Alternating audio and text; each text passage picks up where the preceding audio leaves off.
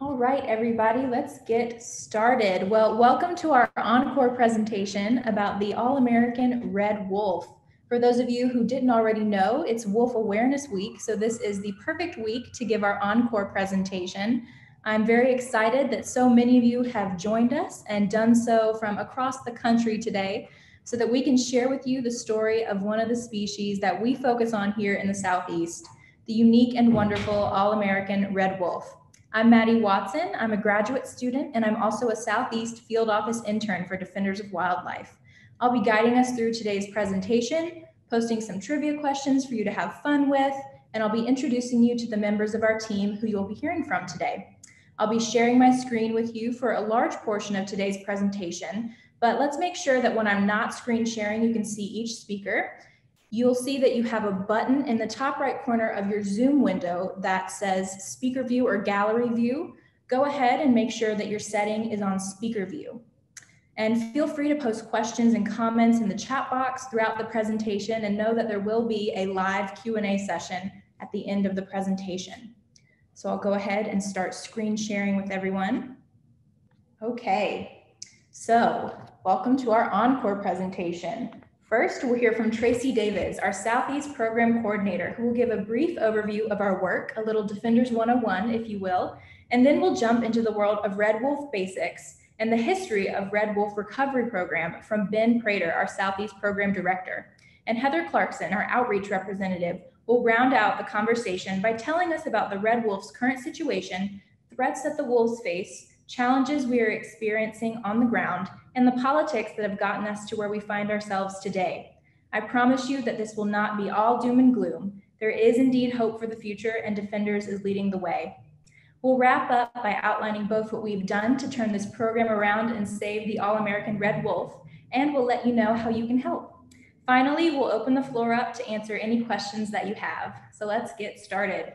Up first is Tracy Davids, again, our wonderful Southeast Program Coordinator based here in Asheville, North Carolina.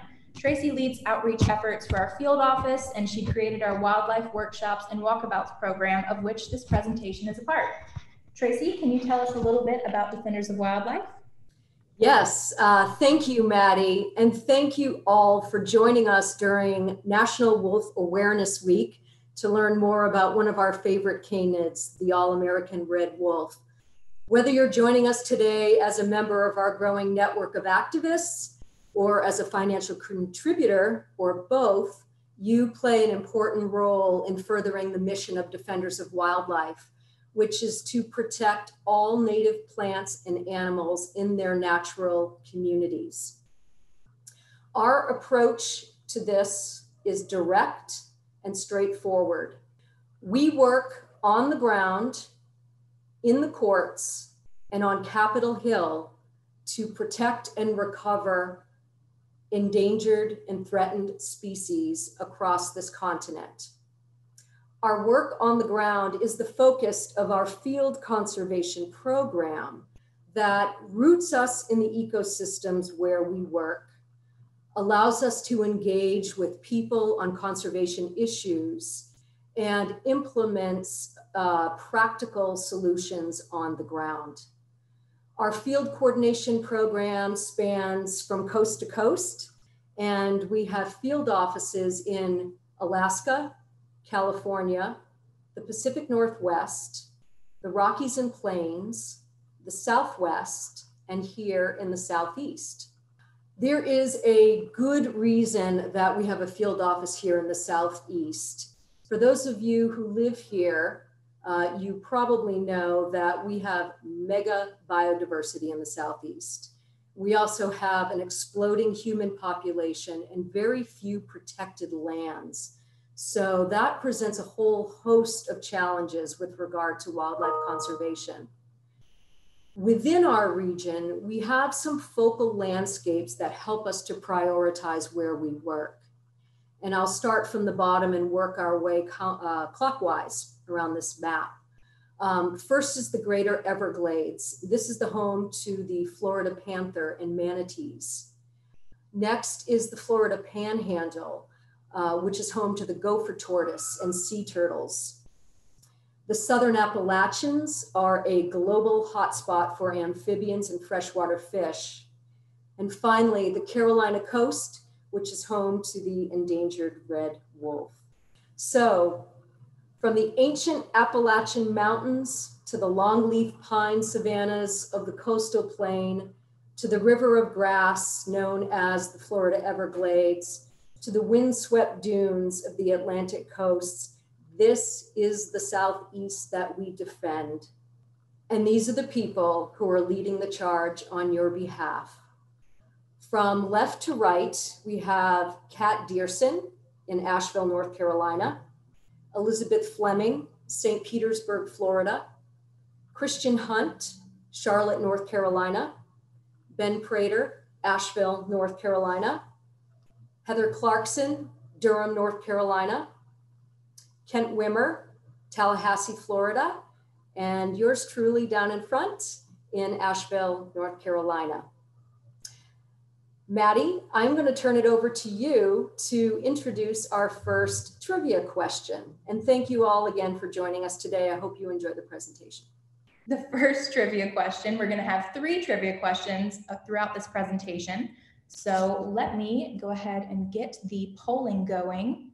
There we go. So hopefully everybody can see this poll. Uh, please select the answer that you believe to be the best choice. And after everybody has answered, we'll see how many of you chose the correct response and we'll give you about 30 seconds.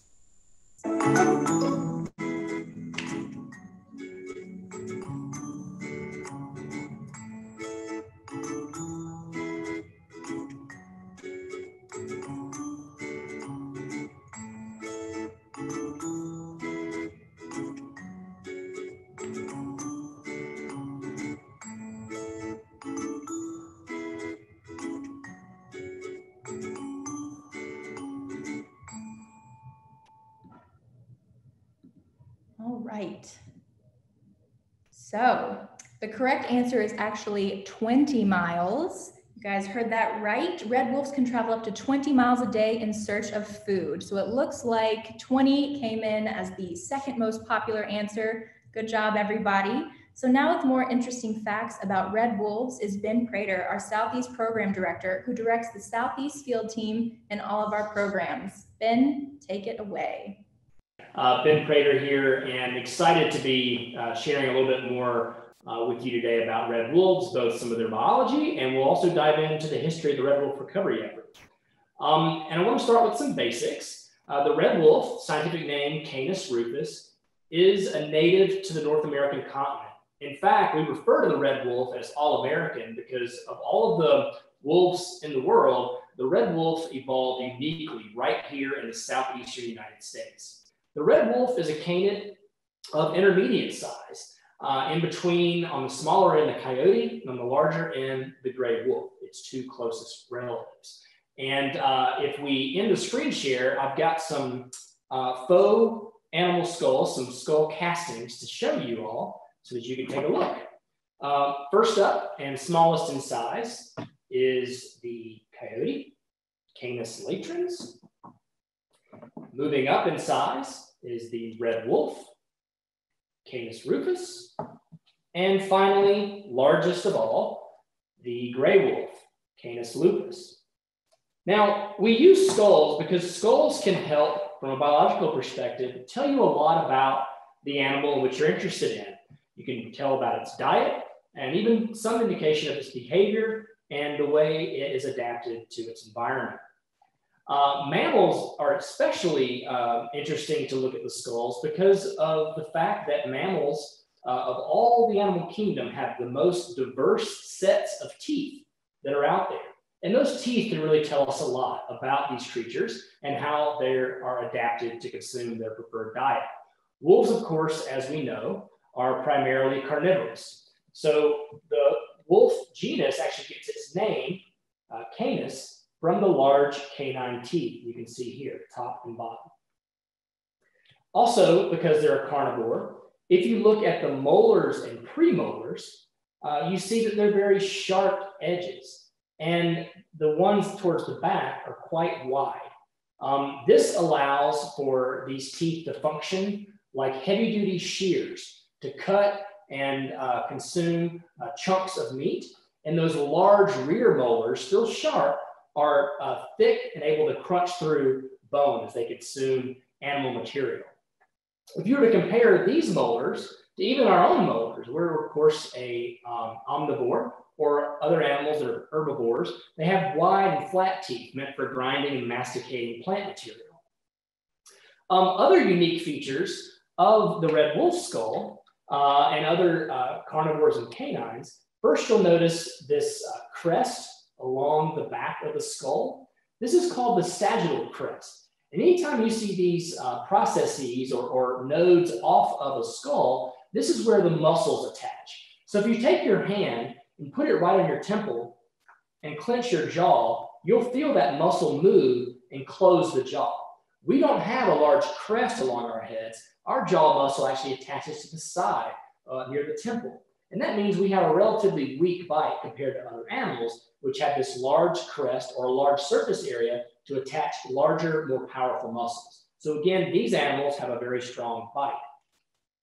Other things to notice about this red wolf skull, if you look around um, the auditory section of the skull, you have these uh, proliferations of bone, these processes. And these again are where muscles and ligaments attach. And that tells us this animal has very keen sense of hearing because it's able to actually move its ears uh, to locate and pinpoint sound. We can also observe the long snout and large orbital openings, also letting us know that these animals have keen senses of sight and smell as well. So a little bit more about the biology, and although the exact diet of red wolves varies depending on the available prey, it usually consists of a combination of white-tailed deer, it's just its preferred prey source, and then other small mammals like raccoons, possums, rabbits, and other rodents. Um, and the red wolf, of course, is an opportunistic feeder. And as you all learned in our uh, trivia question, can travel to 20 miles a day in search of that food. Um, red wolves are mostly brown uh, and buff colored. Uh, unlike their name implies, they have very little red on them, but they do have reddish hue uh, on their ears, head, and legs. Oftentimes when people hear the term red wolf, they're typically featuring an animal more like a red fox, that bright red color. But now let's go ahead and move the slide forward, please. Okay, and you're welcome to go ahead and advance a few more times to show those measurement bars. Um, adult red wolves are about 26 inches or just over two feet tall uh, from paw to shoulder height. And then from the nose to the tip of the tail, uh, they range from about four and a half to five and a half feet, five and a half feet long. They also range in weight, and that range is um, captures the um, the range of size that we see between female, which are typically smaller, and male animals, which are typically larger. And that uh, size range uh, in weight goes from about 50 to 80 pounds. So for those of you who may own a large dog at home, like a German Shepherd or a Labrador Retriever, that's about the size of this animal. Now, red wolves live quite a challenging life as a carnivore. In fact, in the wild, they only live about six to seven years. So they have to grow up fast, learn their skills uh, quickly. Uh, they reach breeding age at roughly two years, uh, but they can live up to 15 plus years in captivity. But one of the things that makes wolves of all kinds so wonderful, and red wolves are no exception, is they're very social animals, much like human beings. And they live in very close knit packs or family groups. Now, you, when I say the word wolf pack, you may be thinking of something akin to, you know, 10 to 20 animals that you may see in gray wolves consisting of multiple, multiple families. But red wolf packs are much smaller typically consisting of no more than five to eight animals, all that include a breeding pair, a male and female. A breeding pair of wolves will, in fact, mate for life. Um, and they and it's, the pack also includes their offspring. Uh, and the older offspring, the yearlings, will often assist the breeding pair in pup rearing and helping to supply food and resources and protection to the pack. Um, and these animals mate once a year uh, in late winter or February. And um, one of the most endearing qualities of wolves is their amazing social behaviors and family dynamics. And as you can see here, these adorable little balls of, of, of fluff um, are born about two months after the breeding season. And the litter of pups can range anywhere from two to eight pups. Generally, it's around four to six on average.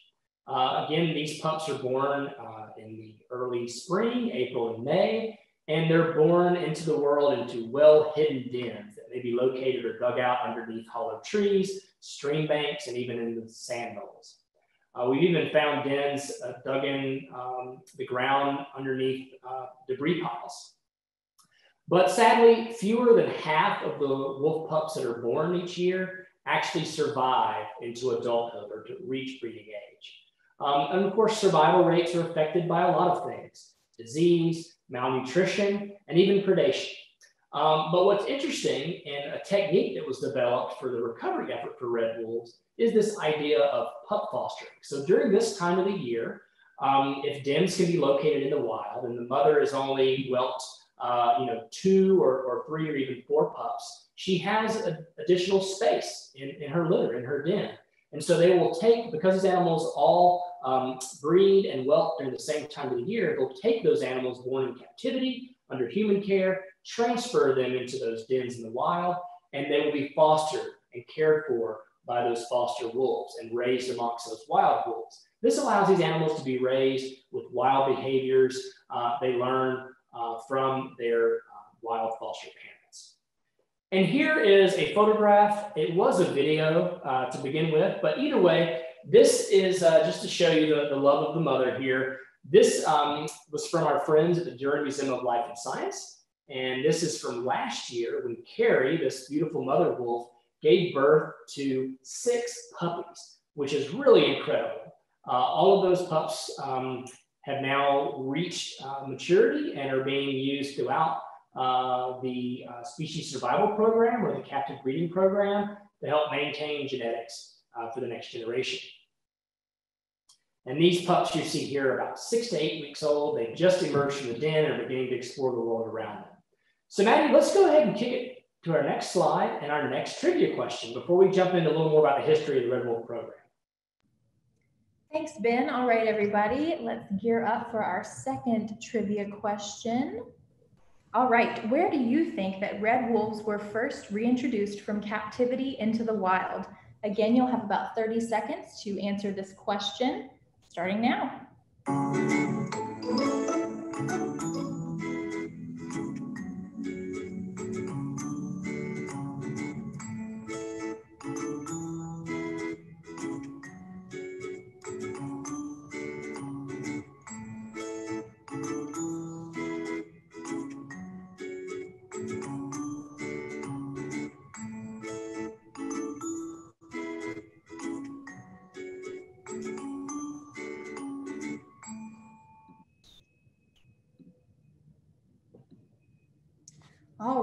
Like everybody almost got that right. Great job, everybody. 58% Eastern North Carolina is correct. Red wolves were first reintroduced from captivity into the wild in Eastern North Carolina.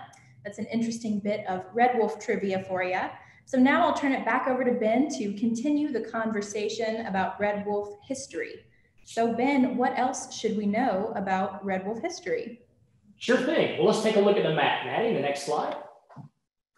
Okay, so as you look at this map, don't be too worried about the details, just look, get a general sense here. Uh, but you'll notice the yellow color. And this depicts what we refer to as the historic range of the species. And this is really our best approximation based only on the fossil record and the written record um, of where and to what extent red wolves once roamed across um, the United States.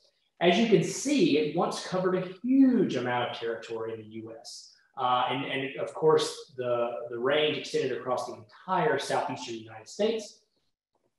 Uh, but unfortunately, a savage history of eradication and fear uh, makes up a part of the modern history of all predators in the United States. But fortunately, with shifting attitudes and a new age of conservation, efforts were conducted to save imperiled species from the brink. And the red wolf was one of the first species to benefit from those efforts. Um, if you look back to the map and notice the area, the small area in red along the Gulf Coast of Louisiana and Texas, this represents the last stronghold for red wolves that existed in the middle of last century. So around the 1950s and 60s, this was the only place left where red wolves could still be experienced in the wild. And at that time, biologists grew so concerned about losing the species to extinction they worked to capture all the red wolves they could find in this area and remove them uh, from the wild in order to start a captive breeding program. This was the first of its kind, fairly radical uh, and progressive action to be taken. Uh, in fact, when red wolves were introduced into eastern North Carolina, they, um, which you can, it's shown by the little box there along the coast of North Carolina. This was the first reintroduction, as you learned in the trivia question, of a predator on the landscape. This was truly an historic event that predated the reintroduction to the Yellowstone uh, in the 90s. And in fact, the Red Wolf Recovery Program and many of the techniques developed to make it successful served as the model for that Yellowstone introduction, which gets a lot of the fame. But again, the Red Wolves laid that ground and that foundation first. And as I mentioned, uh, when the effort to save red wolf began, there was really no blueprint to follow. Uh, so many of these biologists were basically cowboys uh, looking to um, solve a problem uh, with just trusting their gut and their instincts, and of course, using science to lead the way. But by the, by the time they had located just those few wolves, um, again, biologists concluded that the only way they could prevent extinction was to remove those survivors, place them in captivity. And this is an aerial shot of those first breeding pens that were set up at Point Defiance Zoo in Tacoma, Washington, out west. And this allowed for scientists and biologists to study the animals and to begin to breed them in order to boost their numbers. Of course, at the time, the end goal was not just to preserve the species to pre prevent its extinction, but to actively restore it back to the wild. And again, no one had ever done this before. No one had ever taken a large carnivore from the wild and put it back and restored it to the landscape.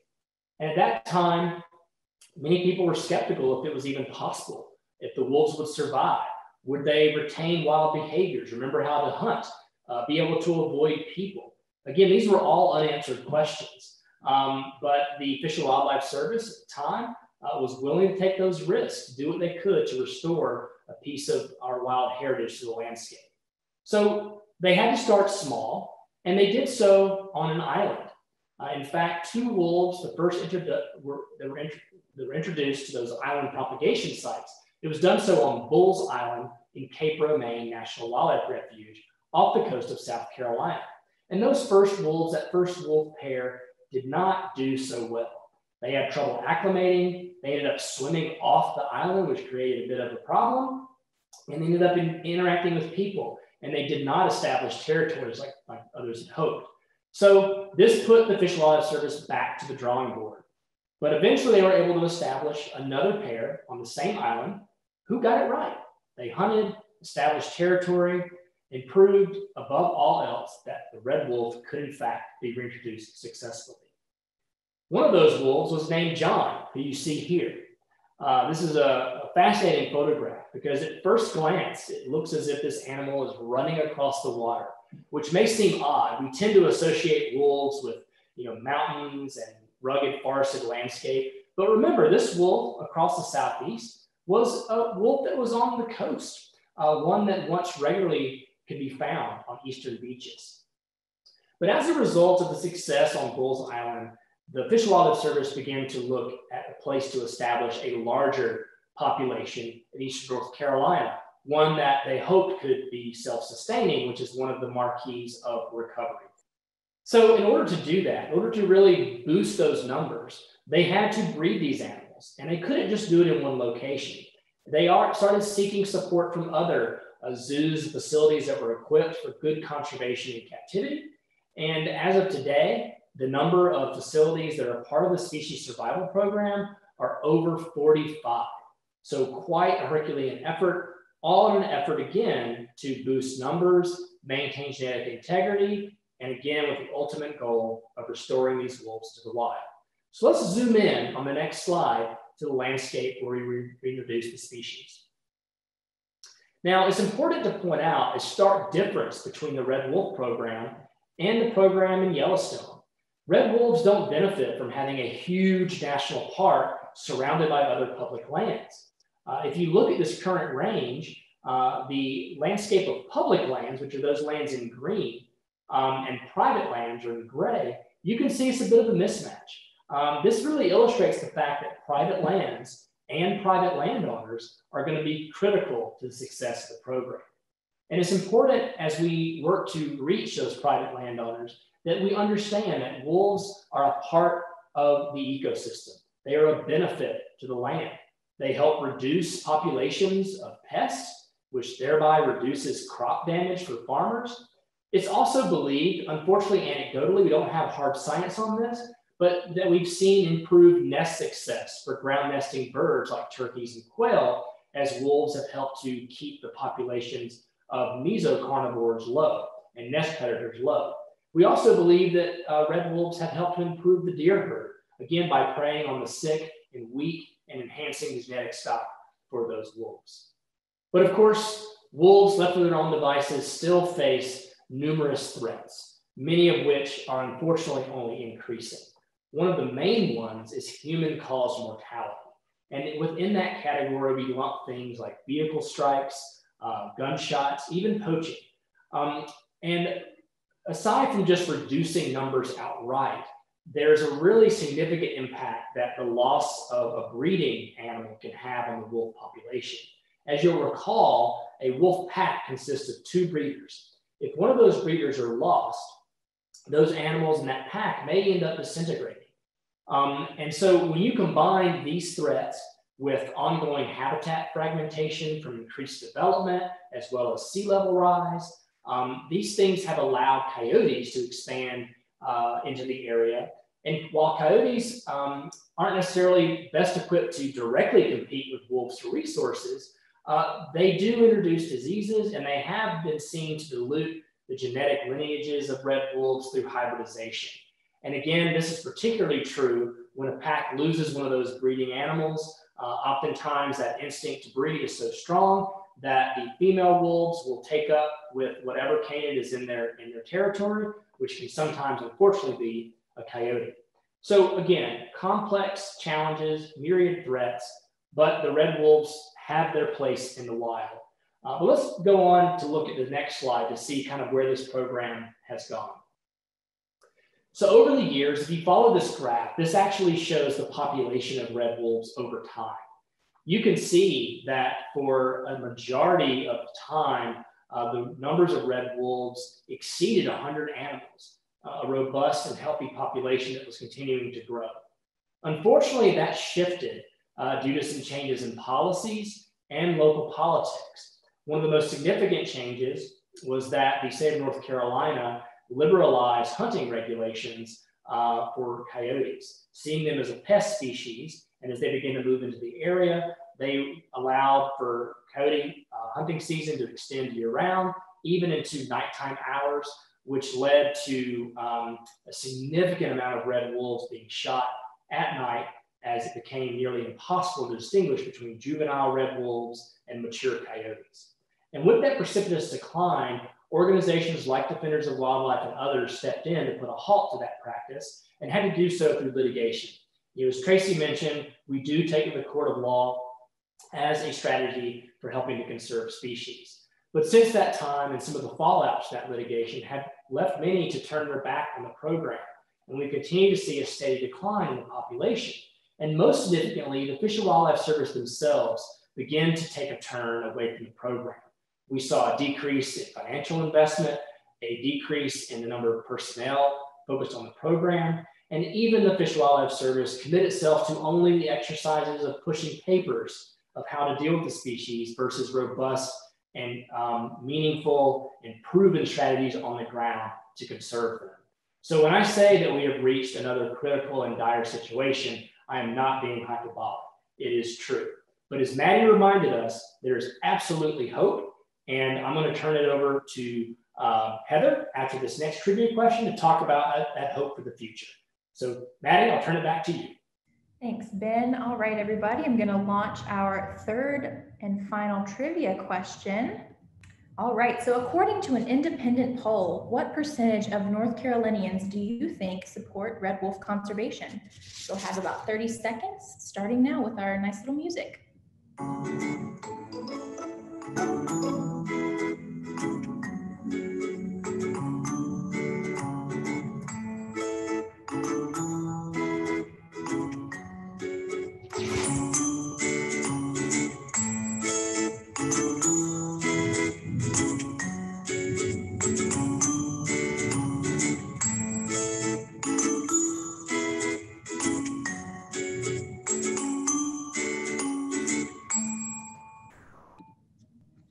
So an overwhelming majority of you got that correct. Way to go, everybody. 70% of North Carolinians support red wolf conservation.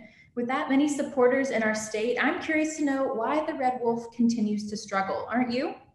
So here to help us with the answers and tell us what we can do to help is Heather Clarkson, our Southeast Outreach Representative. And she works with local communities, landowners, as well as state and federal lawmakers and regulatory agencies to promote and support the Red Wolf Recovery Program in Eastern North Carolina.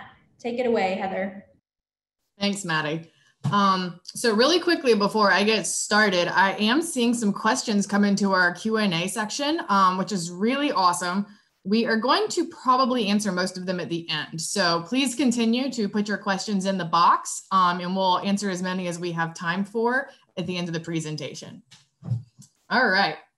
So we have filled you guys in on the history and the past of red wolves, um, but big question I'm sure you all have is what about the future? Um, so what has Defenders been doing to secure the future for this species? We've been taking a three-pronged approach. Um, first, we've been building and leveraging public support, focused mostly in North Carolina and on the ground locally around the recovery area. Second, we've been holding agencies accountable through litigation and legal strategies, um, including Endangered Species Act defense. And then third, we've been utilizing science to inform our decision making. Despite the significant turning point that our red wolves are at in recovery, we are standing by the wolves and the vast majority of North Carolinians are supporting them. Um, as we just found out from our polls, every every time we run a poll on the state of North Carolina, our, our supporters are over 70%. And, and that rings even stronger on a national level. Um, we are continuing our grassroots effort in North Carolina, ramping up political outreach, and we're committed to bringing the best available science to bear and enforcing the law when it comes to the Endangered Species Act. We have staff working in every corner of North Carolina and beyond. And the state North Carolina capital, where we are in close proximity to decision makers, agency personnel, and the recovery area. In 2019, we were able to secure Governor Cooper's support for red wolf conservation in North Carolina. And we helped to get over 100,000 signatures in support of red wolf recovery, pushing back against the Fish and Wildlife's bad proposal. Another way that we've been working to increase outreach is through education. Through a partnership with the North Carolina Wildlife Federation and the Wildlife Refuges Association, we helped reopen the Red Wolf Center in Columbia, North Carolina. This facility houses multiple captive wolves and is manned by, uh, by volunteers throughout the year who educate guests on red wolves and their recovery. Um, this facility is in, like I said, Columbia, North Carolina. It's in the heart of the recovery area and um, has been a significant draw for um, tourists lately. So pictured here, we have um, a number of our outreach projects, and I'm going to uh, go through them all pretty quickly for you guys. So in our top two corners um, is actually a recent wildlife ambassadors meeting that we held at the Pocosin Lakes National Wildlife Refuge. Um, that is there in Columbia, North Carolina. Um, this was a group of, of local landowners and um, community activists who wanted to be more involved in protecting not only the red wolf, but the entire ecosystem um, surrounding these refuges.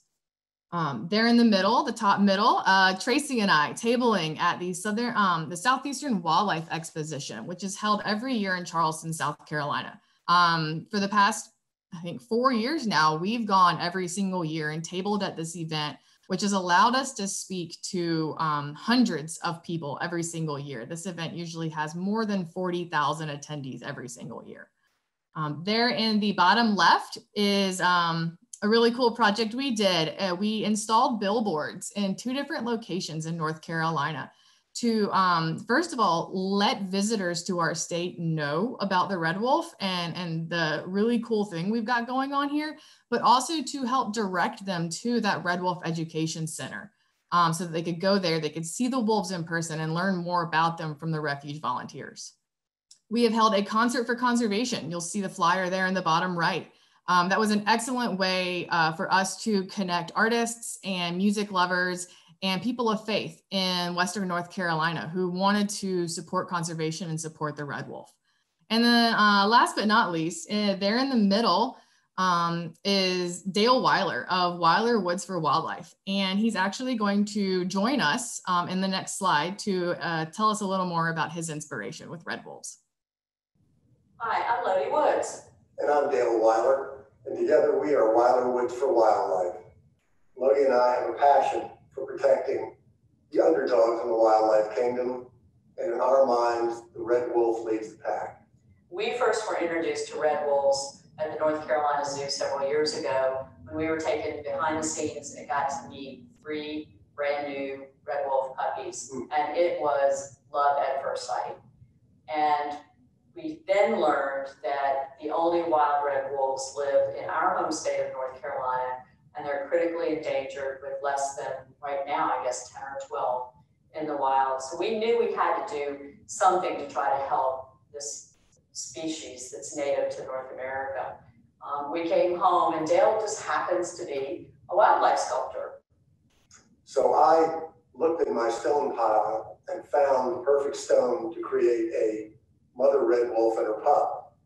And after I completed it, Lodi and I decided that we wanted to do a replica of that original and donate it to facilities around the country who are helping to rewild red wolves. And this happens to be one of the uh, replicas that has been donated. But we got together with Ben Prater, of Defenders of Wildlife. We had been working with Defenders on a number of different underdog species. And we did some brainstorming and collectively came up with the idea of offering these replicas to uh, breeding facilities of red wolves around the country. And uh, Defenders of Wildlife sponsored five of the caskets or replicas uh, to those facilities. And we have been so inspired of working with Ben and his team um, in the Southeast and also with the uh, Home Office Defenders folks. And what we've found is any action you take, no matter how small or how big, can make a huge difference in wildlife conservation. So, in conclusion, we both like to say, go Red, go Wolves. Red Wolves. I love that video. All right. Well, thanks, Dale and Lodi. Um, so we mentioned science as one of the lenses that we are looking um, toward the future through. In fact, Defenders is a science-based organization at its heart. We are focusing on the science and human dimensions to develop a comprehensive vision for the Red Wolf recovery effort, which will engage leading scientists and work with landowners and local communities through incentive programs and coexistence strategies. Um, we are leading with partners such as the Smithsonian and the Association for Zoos and Aquariums to build scientific understanding, address conservation challenges, advance recovery planning, and identify new recovery sites. So you'll remember we put up the historical range um, a couple slides back and that little red arrow with the source population. Um, that is basically northeastern Texas, southern Louisiana, um, super swampy area, but that's where the last of the red wolves were pulled out of um, back in the 60s and 70s. So Maddie, if you will click one more. Now, You'll have to exclude, um, excuse the resolution because this photo was taken at a distance, but this is a recent photo from Galveston Island, Texas. Um, recent years have actually brought to light some very groundbreaking research on wild canids. Uh, red wolf genes have been discovered to be persisting in the wild in both Texas and Louisiana. Um, these animals here that you see in the photo, like I said, were found on Galveston Island, and we also have had other animals found um, in the swamps of Louisiana. And both these populations have come back with unique um, red wolf DNA that is actually not even represented in the captive population at this point. Um, this means a couple of different things. It means that red wolf genes, whether we uh, thought so or not, they have survived on the landscape, both in the presence of coyotes and with no human intervention whatsoever. Um, this turns some of the you know classic arguments on how impossible red wolf conservation may be on its head.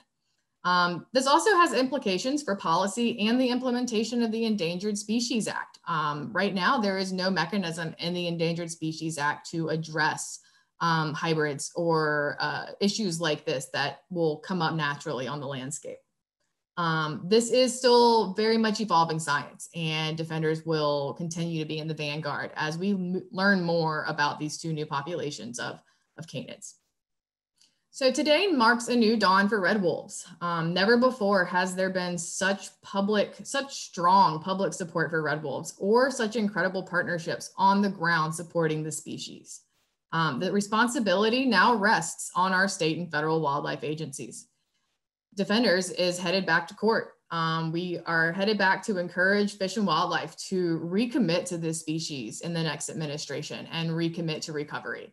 There will be no future for red wolves without more releases from the captive populations, pup fostering, and more recovery areas identified. So you're all wondering, what can you do to help? Um, here are five quick actions that you can take. And we will definitely send this out to you guys after the presentation because I do think the bottom's cut off. But um, speak up, take action, uh, send letters to your congressional representatives or to your um, local wildlife agency, especially if you're in North Carolina. Uh, social media, use the social media platforms that you're on and that you're active with and spread the word and educate others about this species. You can write a letter to the editor to your local paper, especially if you are in an area within the historical range. Um, we uh, we eventually would love to see these animals back on the landscape that they were historically a part of. You can join us on social media. We have a Defenders of Wildlife um, dedicated Red Wolf group just for um, keeping our supporters up to date on red wolves. So that URL is actually what's cut off at the very bottom. So we'll make sure you guys get a copy of it after the after the presentation. And then of course, um, last but not least, support the Red Wolf program go visit the zoos and facilities that have red wolves. Um, I know that right now it's COVID and it's weird, but um, anything you can do to support those breeding facilities is a huge help. Um, they really actually do not get any help from the government or from Fish and Wildlife when it comes to keeping those animals in their care. So that's um, something we always want to encourage red wolf lovers and supporters to do is help support the SSP, the, spe the species survival plan as well.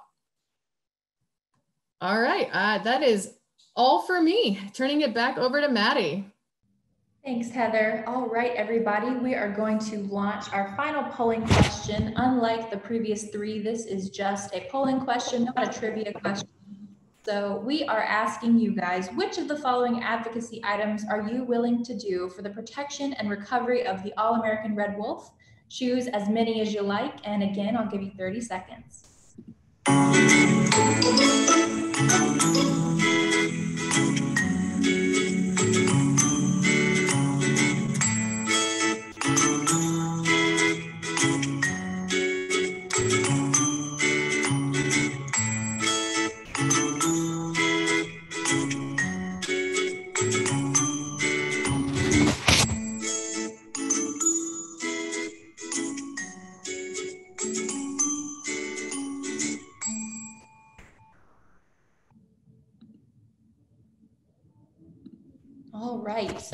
Like a bunch of you are willing to do whatever you can to support the Red Wolf. And we would just like to say thank you so much uh, for participating in these fun trivia questions and in this polling question. And anything that you can do to help Red Wolf recovery and conservation is a victory in and of itself. And it's much appreciated by all of us here at Defenders of Wildlife. Your support can make a big difference no matter what you do. Um, let's see, we'll go ahead and start with Scott's question. So why isn't the Smoky Mountain National Park vi a viable location for reintroduction? Um, does anybody want to take the answer to this interesting question? Hey, Maddie. Yeah, I'm happy to jump in because actually the uh, Smoky Mountains was not only considered, it was actually used as the second uh, potential reintroduction site. In fact, in the early 90s, uh, there was a reintroduction effort where they put a few animals out into the Smokies. At that time, uh, those animals did run into a few different challenges. Uh, there was there was an overall lack of an abundance of prey in the rugged mountain terrain, and that rugged terrain also prevented biologists, or at least made it more difficult for biologists to locate and access uh, the animals to be able to provide them with uh, veterinary care. And again, we're talking wild animals, so you may be wondering why do we have veterinary care? Well, that's because um, wild canids are susceptible to domestic dog diseases like parvo. And so it's very important uh, for such a critically endangered species that we can uh, provide care and vaccination against these diseases, which again are human caused fundamentally. Um, so those were some, some challenges. There was also uh, some vocal opposition from uh, private landowners adjacent to the park uh, who own cattle, even though in the history of the program, depredation on livestock is um, essentially null. Uh, it did create an optics issue with Fish and Wildlife Service. So after they lost a number of those animals to disease, they decided to um, uh, end that program in the Smokies. And um, because they ended that program in the Smokies, it left us, you know, there was not much of an insurance policy. And so we put a lot on that single wild population left in North Carolina. And we do not want to see the Fish Wildlife Service um, begin to get on a path towards giving up on that population as well. Um, so that's why we're holding the line. Uh, I would uh, tend to argue and believe that one of the challenges for the Smokies was the terrain itself. You know, again, we often in our mind's eye imagine these predators to be, you know, galloping along the rocky crags of the Smokies, but in truth, um, you know, carnivores uh, go where it's easy to take prey, which is why they are attracted to those flat landscapes and river bottoms, which guess who else is attracted to that? Farmers and human beings. So it creates a coexistence challenge. But yes, the Smokies um, may again one day be a viable location. And I do think that public lands in general uh, really are the key for us to establish a population. Thanks, Ben. All right, let's move on to another question. Let's see, David Burns asked, I noticed that the different pens in the Tacoma Breeding Center each have rather different characteristics of trees, etc. Was that purposeful? So my assumption is, well, the answer is I don't know. My assumption is that, um, you know, with captive scenarios, um, biologists and zoologists are very uh, careful to provide uh, habitat that is a close approximation of their wild habitat. And that includes making sure that the animals have variety and diversity of items that are in their in their enclosures. And I think it was probably less of a planned exercise and more of just a um, you know natural benefit of putting the pins where they were. Uh, but yeah, that is something that you'll see as you visit uh, different uh, SSP facilities is how they've set up their their uh, habitats for red wolves to be engaging and provide uh, support to maintain wild behaviors. All right, let's see. Shannon is asking, how successful has the cross fostering program been for uh, increasing the population? The answer is yes. Cross fostering has been um, very successful. I do not have the numbers right off top of my head of how many have been, um, you know, released into the North Carolina recovery area through cross fostering, but there has never been an instance of a failed cross fostering attempt. Um, there has never been, um, there are no examples of a mother wolf in the wild rejecting those puppies. And um, actually, just this year, the SSP had a cross fostering um, internally. They they had a medical issue with one of their captive born litters and lost a number of puppies, and were able to cross foster the surviving puppies into another captive litter um, in order to save them. So it, it's interesting that not only it allows us to, to swap genetics and increase populations in the wild, but we can also do the same in our captive population. Yeah, red wolves make great parents. Um, again, those family dynamics are really uh, unique and admirable quality of their species. Um, and it's, it's kind of funny. They the way they um, put those uh, pups in the den. So typically, you know, a biologist comes along and immediately the mother wolf will leave the den. You know, her, her life matters first. um, but what they'll do is they'll take some urine from the other puppies and basically just cover the scent of that new new pup. And when the mother comes back, all she can detect and smell is uh, an extra warm body there. So um, it's amazing how simple things like that can really work and be such an effective tool for conservation. Thank you, Ben and Heather. Let's see some other great questions. You guys have been typing in wonderful questions in the chat box. So many good questions to choose from.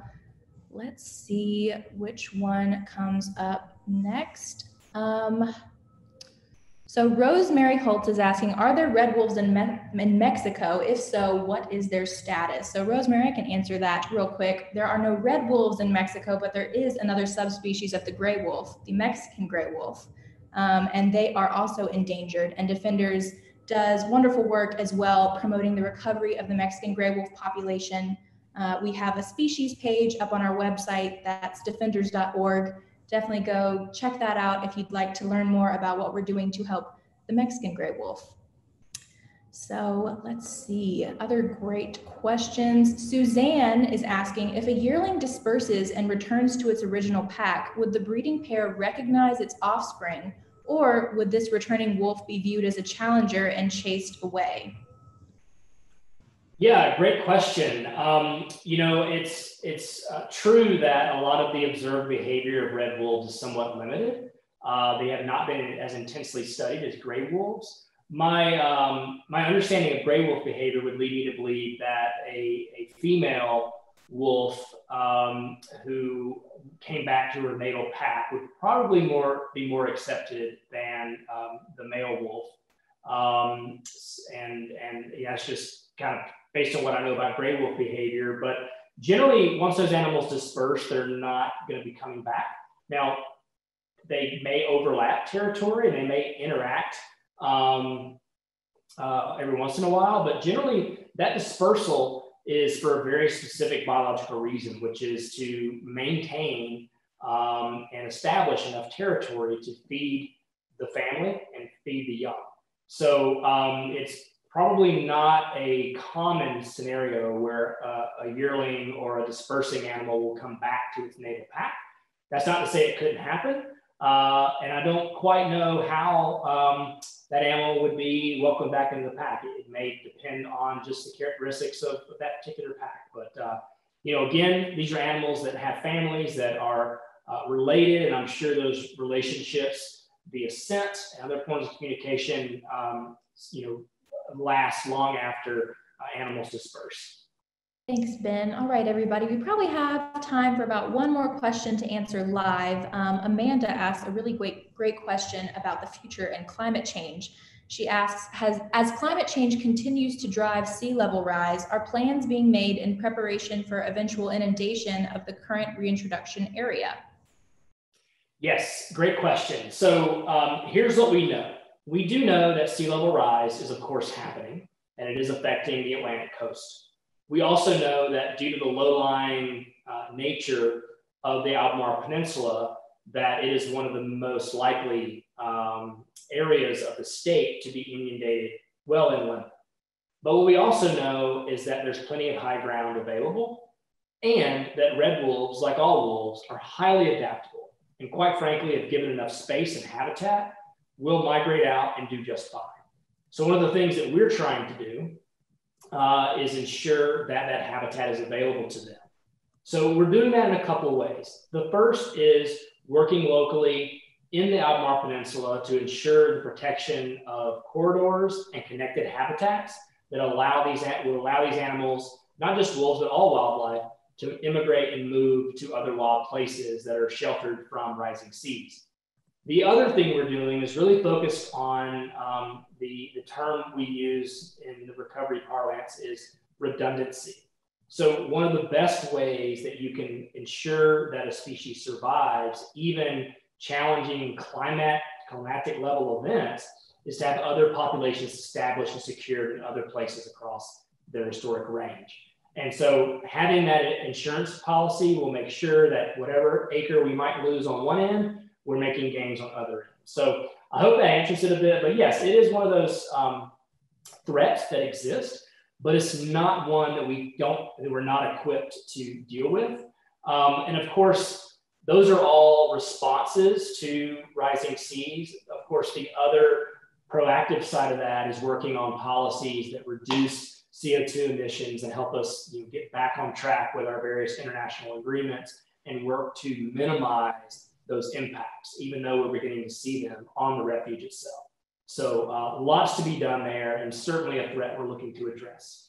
All right, thanks, Ben. Well, we do want to honor everybody's time commitment today, um, but so many of you asked wonderful questions in the chat box that we didn't get to answer, unfortunately. But if you are still just itching to have your question answered, please send us an email at southeastoffice at defenders.org. We'll include that in the follow-up email that we send to you guys.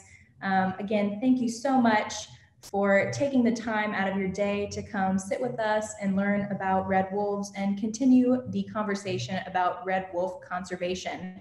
Thanks to our amazing Southeast field team for teaching us all about red wolves. And again, most of all, thank you to our lovely audience members for tuning in today. We greatly appreciate your support and hope to see you on another webinar soon. Thanks, everybody. Thank you.